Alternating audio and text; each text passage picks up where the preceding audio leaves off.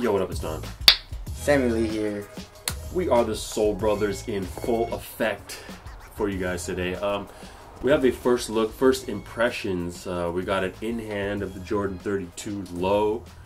Um, we do have the highs, obviously, um, and we did performance test those. But now, you know, we got the lows. Yes, shout out to Jordan Brand. Yeah. Of course, they sent us so sent these over. And uh, this is the low version. Uh, this is the Banned colorway. It says uh, Banned right here, and it has the date on it. It says October 18th on the back. What is that? MJ Day or something, right?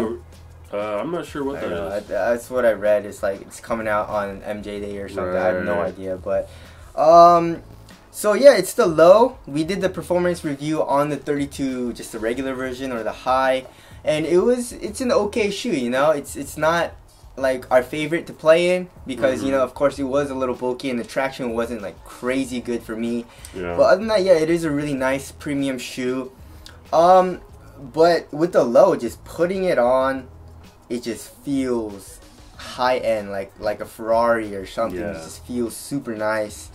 And um, one thing, uh, also, that's, that's kind of weird, but I just really love is that it's really easy to put on.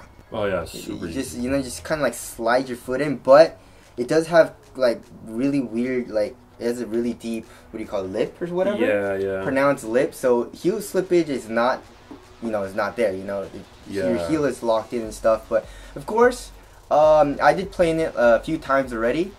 Um, but the traction seems to be better than the regular, the the, Mm. the all red ones. What was it called? Rosso or Rosso? Oh, Rosso Corsa? Yeah, or whatever. For some reason, it st- seems to be sticking a little bit better. Huh. You know, like the the all red one, like kind of slid out. You know, like the 31s did, but this one it sticks a little bit better. So, Hmm.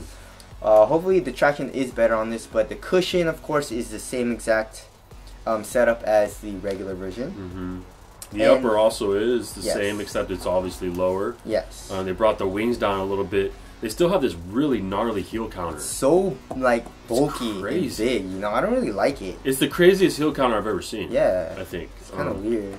I mean, it's definitely supportive. So Yeah. there's that.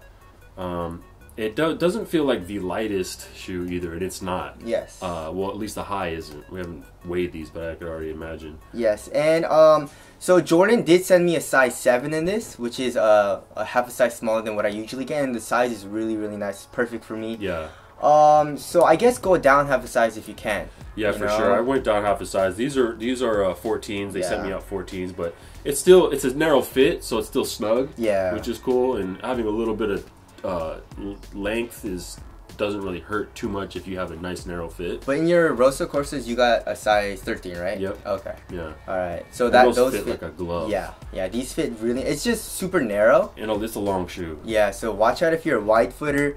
Um, but it does stretch out over time. So if it's a little, if it's a little tight, you know, just a little snug, then it should be fine in the Mhm. long run. Um, but um, first impressions, these are super nice, and I love how um, minimal and like not as bulky. You know, Yeah. it feels, uh, you know, as opposed to the regular version. And So- it just feels premium. Yes, I mean, it, you know, if you're yeah. gonna pay, pay pay a premium price, it's nice to have it really feel premium. And yes, this is one of the more premium feeling, sh- you know, performance basketball shoes there is. yes. That's one thing Jordan always really does well.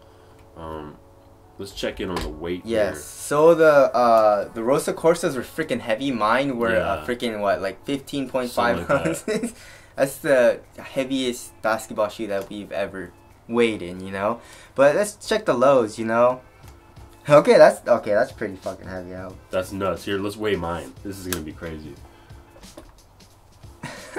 Twenty point seven four ounces. Yeah, that's that's pretty heavy. Mine was what fourteen point four ounces. Yeah. Yeah, fourteen point four six ounces, which is pretty damn heavy. Does it feel heavy? I mean, you're creeping up on a pound. That yeah. Well, Right. what is it? Like 17 ounces? or 16 something? ounces 16 ounces. I mean, this is yeah, it's a pretty heavy shoe.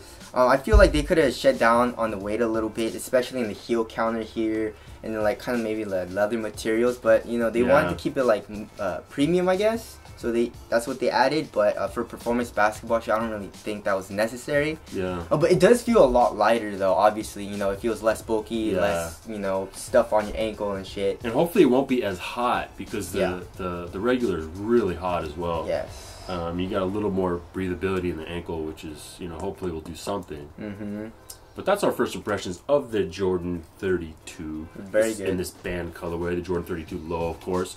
Shouts out to Jordan for sending us these, but we will give you our full unadulterated uh, performance review on these ASAP. Uh, so stick around, make sure you stay tuned, subscribe, like, share, all that. Uh, Sole Brothers, we'll catch you in the next one. Later. Thanks.